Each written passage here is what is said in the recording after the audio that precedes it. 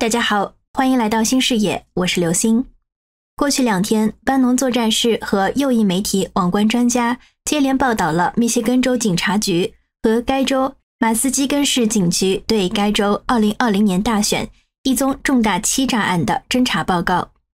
案件在2020年11月被移交给联邦调查局，此后便石沉大海。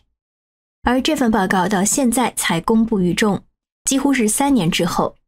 但报告揭开了民主党收割选票的主要运作方式，对共和党人如何备战并赢得2024年大选极具现实意义。班农更希望把这份报告的影响做大，以此推动恢复传统的纸质选票。根据网关专家的报道，两名选举诚信活动人士获得了2020年密西根州警察局的侦查报告副本，并在今年六月开始了进一步调查。网关专家的一名 AI 高手随后也加入了这个调查。根据密西根州警局的报告，选举欺诈首先在密西根州马斯基根市发现。这是个小城市，只有三万八千人。距当年大选仅一个月，马斯基根市书记员安梅诗和副书记员金伯利杨注意到，一名黑人女性到书记员办公室提交了大量已经填好的选民登记申请。他们认为这些表格似乎是欺诈性的。十月十六号，梅诗和杨联系了当地警察局，他们告诉警方，在这些申请表中发现很多都有相同的笔迹、相同的签名，甚至是假地址、假电话号码，而且所有这些申请都是同一家公司办理的。这家公司在南菲尔德和奥本山设有两个办公室，这两个办公室的地址提供给了美国邮政局。作为邮件退回的地址，这意味着邮寄选票时退回给邮政局的大量选票将转寄到这家公司。在警方的报告中，公司名称涂黑了，但网关专家报道这家公司叫做 GBI 战略公司。那么，这家公司递送了多少份选民登记申请呢？梅诗告诉警方，他估计有八千份到一万份，包括该公司邮寄的申请在内。其中一些表格是由一名自称布里安娜·霍金斯的黑人妇女送去的。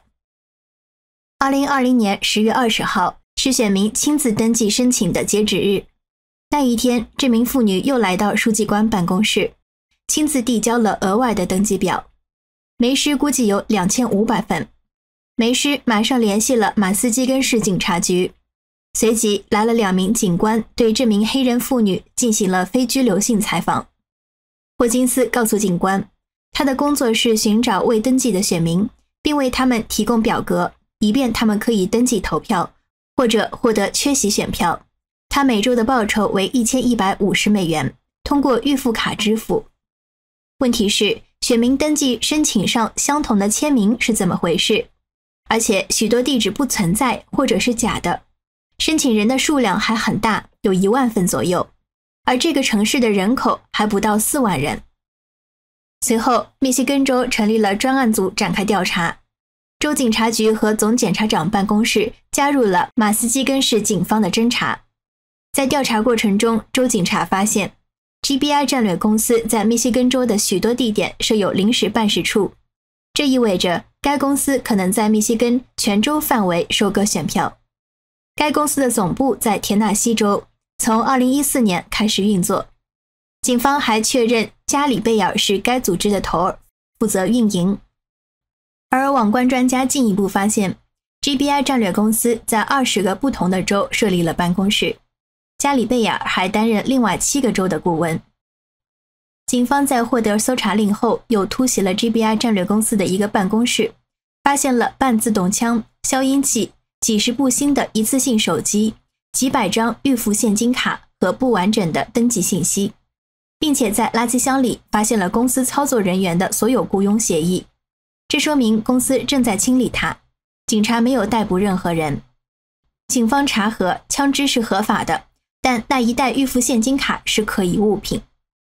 从法官签署搜查令的日期是十月二十九号来看，警方的搜查是在当天或者之后。警方报告说。在 GBI 战略公司递交的这一万份选民登记中，有大量是明显的欺诈，有大量是严重可疑、缺乏关键信息，需要进一步核实；也有大量跟数据库核对是合法的。也就是说，至少有几千份是虚假的。这只是在一个区区小城。警方报告的这部分内容，描绘出了一家公司可以如何利用邮寄选票作弊的模式。概括来说，公司公开招聘人员，却用预付卡支付薪酬，报酬远高于雇佣协议所定，这样就不经过银行，增加了最终资金的困难。这一切表明，操盘手已经考虑过某些情况，他是有组织的协调行动。这家公司还使用一次性手机来租赁汽车。警方报告中还调查了 GBI 战略公司的资金来源，却很有来头。我们放在后面说。王冠专家曾经在2021年2月获得了一段录像，并在推特发布，结果账户被推特关闭，直到马斯克买下推特之后才恢复账户。这段录像是共和党民调人员在2020年大选日当晚拍摄的。录像显示。在底特律 TCF 体育馆计票中心，一黑一白的两辆汽车一共两次开进去，把一箱一箱的选票从白车上卸下来，搬进了计票中心。而车子是租赁的。此后没多久，人们就看到了拜登曲线。这些在凌晨三点左右偷偷运来的选票和警方调查的选举欺诈应该是联系在一起的。这家公司2016年在密歇根开设办公室。按照联邦选举委员会的统计数据，希拉里竞选团队支付了该公司五万美元。当年，希拉里以一万五千张票落后于川普，输掉了密歇根州。在二零二零年，拜登竞选团队支付该公司四十五万美元，拜登比川普多出了十五万张票胜出。根据这份密歇根州警方报告，GBI 战略公司是这个选民登记计划的运营组织。员工的工资为每小时十五美元或每天一百二十美元。不过，接受警方采访的那名黑人妇女说，她每周的工资为一千一百五十美元。公司还向他提供一辆租赁汽车，他得到了一张可充值的工资卡。而这家公司的资金来源主要来自民主党的竞选团队和政治行动委员会等。比如，警方调查人员发现，前民主党参议员道格·琼斯。在2018年参议院竞选中，向 GBI 支付了157万美元。民主党参议员竞选委员会向 GBI 战略支付了18万八千美元。道格·琼斯是阿拉巴马州的民主党人，在2018年联邦参议员补选中获胜。在2020年竞选中，川普支持的汤米·图博维尔赢得了这个席位。阿拉巴马州是共和党州，不是摇摆州。当时媒体普遍报道，图博维尔得到了川普的背书，道格琼斯可能会输掉，所以民主党竞选委员会就没有投入太多。密西根州警察和马斯基根市警察的联合调查就进行到此，因为案子被移交给了联邦调查局。此后至今没有任何来自联邦调查局关于该案的消息。密西根州选举调查员菲尔·奥哈洛伦说。联邦调查局没有对涉嫌选举犯罪的事件采取后续行动。奥哈洛伦现在是密西根州共和党的选举诚信主席。根据网关专家报道，在2020年11月，时任司法部长比尔·巴尔任命了一名臭名昭著的司法部检察官，此人掩盖了选民欺诈犯罪。民间调查人员从今年6月开始了进一步调查，他们发现，到目前为止。GBI 战略公司在二十个不同的州都有业务，一共有七十个办公室。负责该公司运营的加里贝尔还以顾问身份与其他七个州合作。该公司自称是个左翼组织。在二零二零年选举周期，从联邦选举委员会网上查悉，GBI 战略公司一共收到了四百六十九万美元。付款最多的前三家都是民主党的机构。分别是民主党参议员竞选委员会支付了两百一十一万，民主党全国委员会服务公司支付一百万，爱荷华州民主党支付四十八万，拜登竞选团队支付四十五万，排名第五。名列第四的是 Black 政治行动委员会。Black 政治行动委员会在二零二零年选举周期一共花费了一千一百万美元。王冠专家称。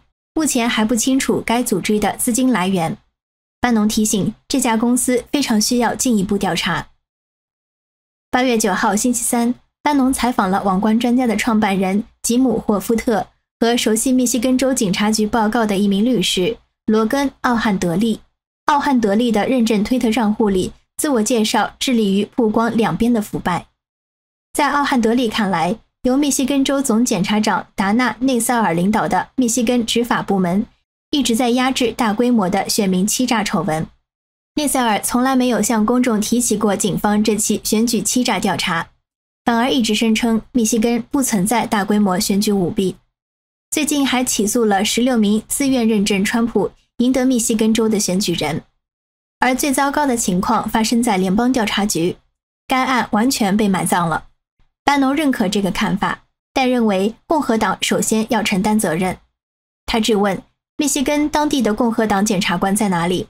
当地的共和党在哪里？为什么晚了三年才曝光出来？二零二零年十一月、十二月正在调查选举舞弊的时候，为什么不披露这个案子？现在该州共和党负责人在揭露选举舞弊上能做什么？为什么需要吉姆·霍夫特和小媒体网关专家来披露？密西根州警察局这份报告还让班农明白了现在在俄亥俄州看到的情况。和 GBI 战略公司如何获得资金，只是同一枚硬币的另一面。班农认为这是关键点，应把它记在心里。民主党人正在筹集资金，只是现在还没有达到他们预期的水平。与此同时，他们让川普把所有的钱都花在了法律上，这就是机会成本。他们想让川普把时间和资金都花在法律上，这就是我们必须弄清楚的地方。班农的担心是对的。川普曾经说，他虽然反对邮寄选票、反对收割选票，但在允许收割选票的州，共和党人应该大力去做。其实，GBI 战略公司做的就是收割选票，民主党和左翼机构付钱给这类公司来做。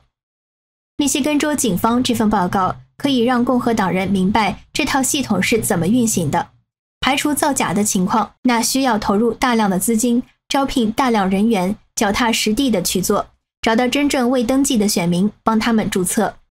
班农提到俄亥俄州，可能民主党人把俄亥俄州作为了2024年选举的一个重点目标。GBI 战略公司在2020年就跟俄亥俄州民主党合作过，可谓经验和教训都有。在2020年中期选举肯定也合作过。相比之下，班农认为共和党的斗争方式仍然非常传统。他告诫共和党人必须在生活中找到一群领导者，把人们组织起来，协调行动。有观众留言说，共和党人喜欢搞内斗，不像民主党人那么团结。其实这可能是大家误解了，不是共和党人不抱团，而是共和党人中大多是传统的美国人，他们更尊重个人意志，而不像共产党或者有些民主党领导层那样强调集体意志，牺牲个人价值观。当然，民主党中也有传统的人，但现在的一些民主党领导人已经变成了共产党，为了权力无所不作。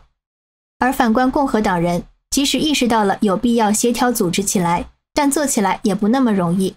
在这一方面，川普竞选团队在协调各州的行动上是做的最有成效的了。目前还主要是为了初选。密西根州警方这份报告公开后。班农和一些共和党人正在努力把这件事做大，他们希望以此为基点继续调查追究，然后推动取消邮寄选票，回到纸质选票，回到传统的选举和计票方式。对于共和党人来说，无论花费多少时间和精力，最最最重要的是首先赢得2024年的选举。好了，今天就说到这里。喜欢我们的节目，请订阅、点赞和分享。谢谢大家，我们下期再见。